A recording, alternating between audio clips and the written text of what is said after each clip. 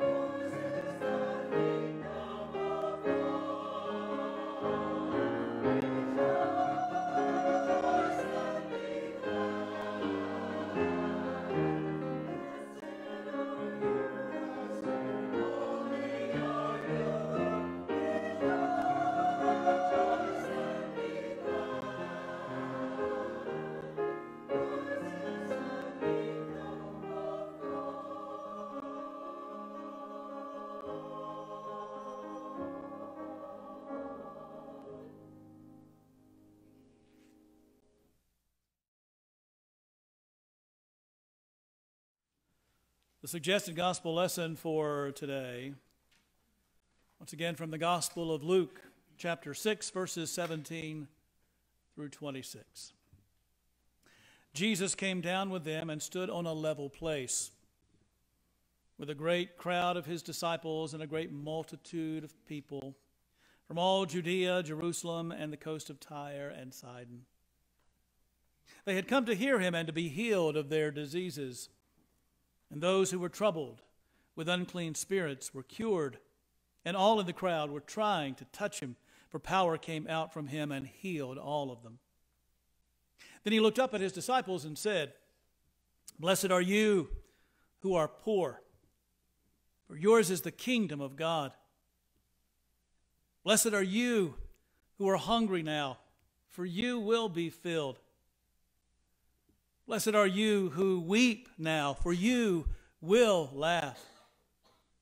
Blessed are you when people hate you and when they exclude you, revile you, and defame you on account of the Son of Man. Rejoice in that day and leap for joy, for surely your reward is great in heaven, for that is what they, their ancestors did to the prophets.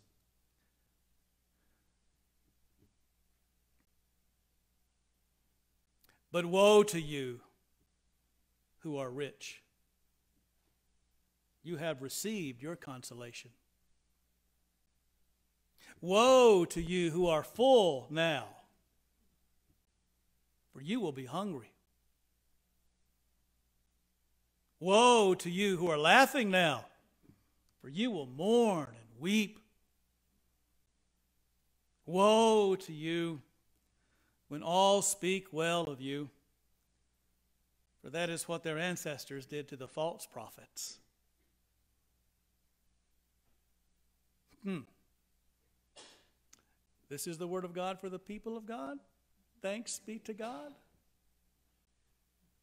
It's easier to say that after some scripture readings than others, this thanks be to God.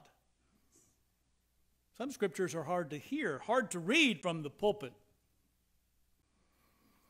I became a United Methodist pastor in June of 1991. The Sunday before I walked into my pulpit as a pastor, I had been a lay speaker for two little churches in Denton uh, First United Methodist Church, Clear Springs. And I remember standing in the pulpit on my last Sunday at First in Denton before I was going to be the pastor the next Sunday of Allegheny, Limeberry, Pine Hill, Pleasant Grove United Methodist Churches in Denton. And I remember John Oakley stood up in the congregation at some point in the service. John was a retired United Methodist pastor. He and his wife Ola had First Church as their home church, so I got to know them well over the years. And John stood up and he said, Well, Randy, I guess I'm, I've been elected the spokesperson for the congregation. I just want to thank you for all you've done here. We've appreciated you being here for the last two years. I can't think of any bad comment I've heard about you. Nobody has said anything bad about you and then he paused for a moment and said, Of course, now the Bible warns against that. John obviously had in mind these words from Jesus Woe to you when people say a bunch of nice things about you, because that's what their ancestors did to the false prophets. I thought over the years, and I've been fortunate, people generally have said nice things about me, but I've thought over the years when I run across those negative comments, which I do run across from time to time, obviously, sometimes not to me, sometimes around the bend they get to me, but I've always been, I wouldn't say enjoyed those comments, but I've always gone back to that text and thought, okay, well, maybe I'm not in as much hot water with the good Lord as I could be if nobody had anything negative ever to say. This is an interesting bit of scripture, isn't it? It's not a particularly easy bit of scripture to hear. I've been preaching for 27 and a half years, a little more. And I suspect, for the most part, people who have sat in the pews while I've preached in Denton and Lexington and Clemmons and Salisbury and now Highlands, North Carolina, for the most part, if we were to really be honest with ourselves in this text, we find ourselves in the woe rather than the blessed. And that's not an easy place to be. I think coming to this text, whether you hear it as good news or bad news, depends on where you're standing. And so I come to this text every time it rolls around, every three years in the lectionary, I come to it with some, some hesitation, some regret and fear. I re- recall the words of my old homiletics professor. Dr. Andre Resner, who once told us as preachers in a homiletics preaching class, the Bible wasn't written to give you sermons. And some texts feel more like that than others. So, what's a preacher to do with a text like this? And not just me, you're on the hook for this too. It's your book as well. What are you, what am I, what are we to do with such a text? You know, it's much easier to stay with Matthew. This is Luke's version of Matthew's Sermon on the Mount, which we know well. And in Luke's telling, it's the Sermon on the Plain. Luke has been up on the mountaintop praying all night. After the all night prayer vigil, he has chosen his 12 disciples, apostles, he names them. They come down from the mountain, and then the teaching begins. And in Matthew's gospel, we have these beautiful uh, beatitudes. Sometimes we refer to them as the beautiful attitudes. These are the ways that we are to live our life. Luke's a little different in the way he gets into his beatitudes. Where Luke says, Blessed are the poor, Matthew says, Blessed are the poor in spirit. Where Luke says, Blessed are you who are hungry now, Matthew says, Blessed are you who hunger and thirst for righteousness. Matthew's a little more concerned with spiritualizing the message. Luke is more concerned with real on the ground poverty, the kind that makes you beg, plead, and the kind of hunger that makes a baby's stomach swell. That's what Luke's talking about. And Luke adds this section that I really wish he wouldn't have added these woes. Matthew doesn't have the woes, it's all blessed and beauty in Matthew, but Luke juxtaposes the blessings with the woes. Woe to you who are rich, you've received your consolation. Congratulations. Woe to you who are full you're going to be hungry. Woe to you who are laughing now, you're going to weep and moan, and woe to you when people speak well of you. That's the way they treated the false prophets. That's John Oakley's favorite part. So, this text is not without its challenge to folks like us. Now, if you find yourself this morning in those places of brokenness, if you find yourself in those places where uh, of, of deep poverty and deep hunger, if you if you really are in those places, this does offer some really powerful good news to you this morning. If you spend time in Luke's gospel, you get this real sense that Jesus came for the poor, the impoverished, the broken, those who are pushed to the outskirts if you were with us a few weeks ago, we looked at Jesus' sermon to the home folks. We went back to Nazareth. Remember that? When the home folks tried to throw him off a cliff, they enjoyed his sermon so much. You remember that? And Jesus read from the scroll of Isaiah. Do you remember what he read? The Spirit of the Lord is upon me because he has sent me to bring good news to the poor. So, from Luke's vantage point, as Luke interprets the life and teaching and ministry and the death and resurrection of Jesus, it is God standing on the side of those who are disenfranchised and vulnerable and outcast and marginalized, the poor and the broken. That's who Jesus came primarily for in Luke's gospel. The people who have been on the back of the bus in Luke's gospel will one day be at the front. Uh, some scholars refer to Luke's gospel as this uh, having this eschatological vision, end times vision of a grand reversal. That everything at one point, when the kingdom of God comes in its fullness, will be flipped. So those at the back of the bus will be at the front. Those who are at the front of the bus will be at the back. The weak will have power. The power will be weak. The rich will uh, be poor. The poor will be rich. I mean, this grand reversal, this switching of tides, if you will, and depending on where we find ourselves standing today, that's the key to whether we hear teachings like this and we embrace them or we hear teachings like this and it sets our teeth on edge. Everything in the Bible is not easy to hear, it is not easy to preach. So I wonder what the message is for folks like you and me. I remember when I was at one church that had been broken for a, a significant amount of time before I came, and and I remember trying to navigate that season and really kind of wrestling with what it means to be the pastor in the midst of a broken church. And so, uh, one thing I learned about that season when you recognize that the task before you is bigger than your skill set, when the job is bigger than you, that's when you really start to find out how much you need a good prayer life.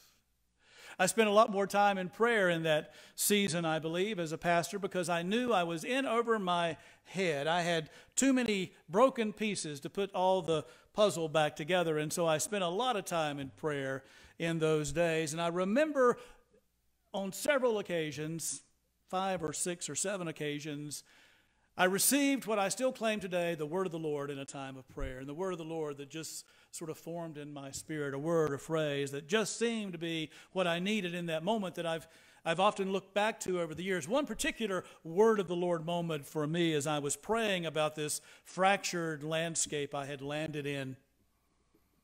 I felt in my soul these simple words The way things are now is not the way things will always be. The way things are now is not the way things will always be. I thought about that as I thought about this text. I think that's, that's part of the word of hope to those who are poor and those who are hungry and those who are weeping and mourning and those who are persecuted for the sake of Jesus. The way things are now is not the way things will be. In Luke's understanding, there is this flipping of fortune. There is this flipping of fortune because of God's favor upon those who are not favored in this world, not favored in this life. You know, I I got to tell you as a as a white male heterosexual, I have always stood in the dominant norm wherever I've been. I've always been in the status of favored. I don't know what it's like not to be in the places where people are not favored. I try to be sensitive, but I don't know on a personal level what that's like. So I hear a text like this and I think, when Jesus says, Blessed are you who are broken, and blessed are you who are, who are put down, blessed are you who are poor and you're hungry and you're mourning, I, I think I, you know, I have moments when I mourn, sure. I have moments when I feel maybe a little bit persecuted, just moments. But boy, when he shifts to the woe, to those of you who are full now, to those of you uh, who, who have plenty of money, the, those of you who are, who are laughing now, those of you who, who are the toast of the town, and people say nice things about you, look out. Woe to you. It's a hard and harsh teaching. Now, you may be hopeful that the preacher today is going to make it all better. You may hope that I have the power to, with some clever use of language, and I, I know my language okay, but you may be hopeful that I can somehow schmooze that thing to make us all feel better about ourselves. You may be hopeful, but let me disappoint you in love, beloved. Somehow, I don't think that's honoring Jesus. I think there are some texts that just need to lay heavy on our hearts. I think there are some texts we ought to wrestle with a little bit. I think I shouldn't spare you in the coming week of the wrestling I've been doing in the previous week over this text. Maybe the text that Richard read for us this morning helps us a little bit. Jeremiah's text this morning speaks about cursed are those, woe to those, if I can sort of use the Lucan language this morning, who, who trust in themselves, who trust in themselves and they don't trust in God. Blessed are those who really trust in God. And I do think maybe there's something to be said that when you are poor, and when you are grieving, and when you are hungry, and when you feel persecuted, I think maybe there's something to be said for in those moments you have a real keen sense of your need for God. In the book of Deuteronomy, Moses said to the children of Israel before he died, and they went into the land of Canaan, the land of promise, Moses gave them a word of warning God has fed you in the wilderness. He's cared for you in the wilderness. You have been dependent upon God in the wilderness, and now you're going to be planting your own food and eating of your own harvest and living in your own homes. Be careful, Moses said. Lest when you find yourself in a place of prosperity and self sufficiency, you forget the Lord your God. There is something about when things are going well that it's easy to buy into the notion that it's because of us. It's because of our strength. And we may think less about our need for God.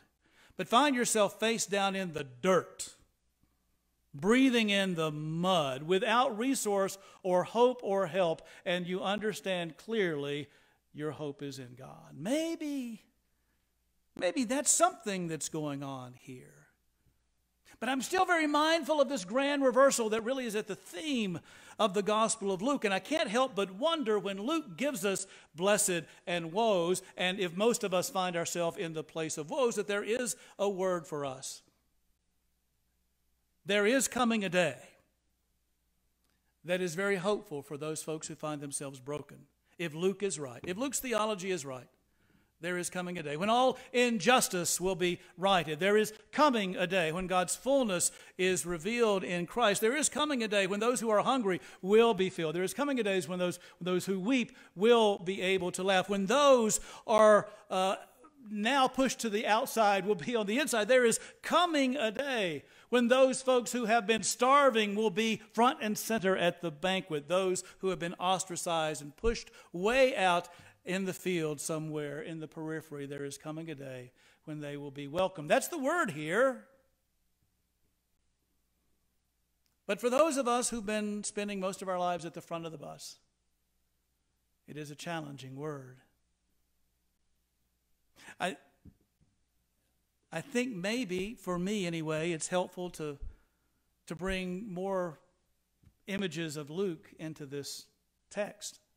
Later in the 16th chapter, there is this parable that Jesus tells. It's an interesting parable. It's kind of a strange parable. Maybe you're familiar with it. It's the parable of the dishonest manager or dishonest steward. It's an odd little story. Jesus tells the story. Only in Luke does he tell the story. A rich man had a manager who was overseeing his property, and word came back to the rich man that the manager was mishandling the property. And so the rich man calls the manager in, give an account of what you're doing. I'm going to let you go. You are fired. And so the manager is terrified. What am I going to do? He says to himself, I'm too weak to dig. I'm too proud to beg. What will I do? My master is kicking me out. And then he has an aha moment. Oh, I know what I will do. I will make friends of the people who owe my master money so that when I'm kicked out, they might welcome me into their homes. And so he goes to one. How much do you owe my master? Uh, 100, uh, uh, 100 gallons of oil. Sit down and, and change the bill. Make it 50. To another, he goes and says, How much do you owe my master? Uh, hundred barrels of wheat. Sit down and, and change that to 80. And he does this with several people, and the rich man gets word of this, and he's not angry. He actually commends the dishonest steward. He he commends him because he is shrewd in his business dealing, and Jesus gives the moral of the story at the end of it. He says, Be sure you make friends with mammon so that those who have uh, the opportunity may welcome you into eternal homes. The, the point being, again, this idea of this grand reversal make friends of those who are lower on the ladder than you are, because someday they might be able to put in a good word for you. A little later in the 16th chapter, it's the same thing. There's the story of the rich man and Lazarus. Do you know that story? The rich man dressed in purple, eating sumptuously every day. Kathy and I went to uh, a brief aside. Kathy and I went to uh, uh, Pigeon Forge for a couple of days, and we we stayed at the uh, uh, we stayed at the uh, inn at Christmas Place, and they have like the biggest breakfast buffet like ever. And Kathy had for breakfast pecan pie, if you can imagine that. And so uh, it was more food than we could possibly eat. and, and I ate more than I, and I certainly should have. I mean, Kathy, besides the pie thing, she still didn't eat very much. I thought about this text as I was eating. I didn't stop eating, but I thought, man, I've just, I've just, you know, I, I know what it is to be full. I mean, I know what it is to have plenty. I know what it is to have more than enough. Well, the, the rich man ate sumptuously, maybe even better than the breakfast buffet at the inn at Christmas Place. But he ate sumptuously every day, dressed in his, his purple robes. While outside the gate, as Jesus tells the story, there was a man by the name of Lazarus. And he was hungry every day. And his best hope was just to get a crumb or two from the rich man's table. He had sores all over his body, Jesus said, and the dogs would come every day and lick the sores on his body. As Jesus tells the story, Lazarus eventually died, and he was carried by the angels to Father Abraham. And the rich man died as well, and he was carried down into Hades where he was in torment. And he looked out across the gulf and he saw Father Abraham with Lazarus by his side. And he called out to Abraham, Father Abraham, please send Lazarus to dip his finger into water and touch the end of my tongue, for I am misery in these flames. And the king said, Oh, my child, or, the, or Abraham said, Oh, my child, I'm sorry. For in your life you had your good things and now you're in torment. And Lazarus suffered evil in his life, and now he is comforted. I wonder, I wonder if the story might have been different for the rich man had he ventured out of his castle, his palace, made his way to the gate. I wonder if it might have been different for the rich man if he would have welcomed in the beggar at the gate put salve on his wounds, his sores, invited him to the table, and let him eat something besides crumbs. I wonder if that story might have been different somehow. I wonder if there's something in that word that speaks to this text. I wish I could make this text all better for you. I, I, wish I could make it sound more like Matthew, but we, I think, need Luke in on the conversation. And to not pay attention to Luke seems somehow less than faithful to Christ, I think. And so we live in the tension of this. And maybe, maybe here's where we are at the end of the day. Maybe what we need to hear from this text this morning is that God favors those whom the world does not that God stands on the side of the weak and the suffering and the broken and the outcast and the vulnerable and the marginalized. And for those of us who don't fall into those categories, maybe the best thing we can hope for is the mercy of God. And maybe the best thing that we can do is to be mindful of those whom God favors so that we can favor them too. In the name of the Father, and of the Son, and of the Holy Spirit. Amen.